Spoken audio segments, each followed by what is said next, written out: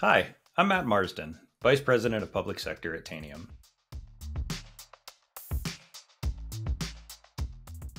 Tanium protects every team, every endpoint, and every workflow from cyber threats by integrating IT compliance, security, and risk.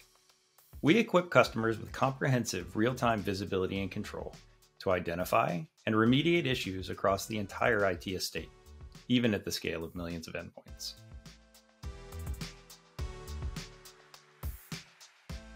While denying access to a device with compliance gaps or vulnerabilities sounds good in theory, IT leaders often struggle with two key challenges.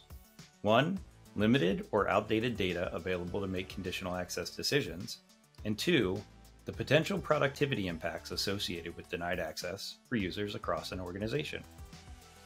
The Tanium and Azure Active Directory integration is the solution to these challenges. First, Tanium delivers detailed real time device data to Azure AD. That data may include evaluation of any criteria important to your organization. For example, is antivirus installed and up to date? Are policies or firewalls configured correctly? Is the endpoint fully patched? Or does the endpoint have other known vulnerabilities? The list is extensive and highly customizable.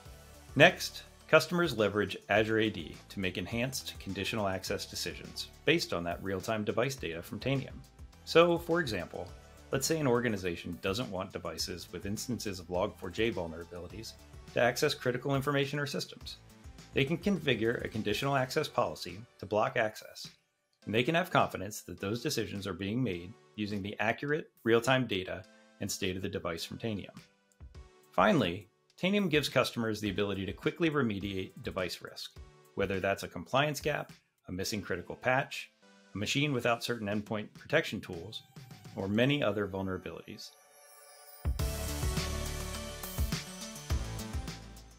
As I mentioned, the capabilities Tanium delivers to customers with Azure AD are unique.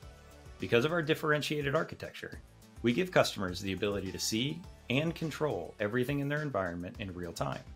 This is critical to enable a zero trust strategy that actually works at scale. Without Tanium's real time data, customers may be making conditional access decisions based on data that's days or weeks old.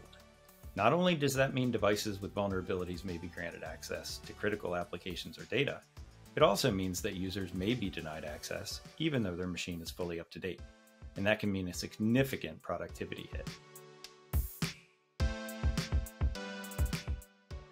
Today, all you need to get started is Tanium Core and Azure AD. You can reach out to tanium.com. We'd be happy to give you a demo.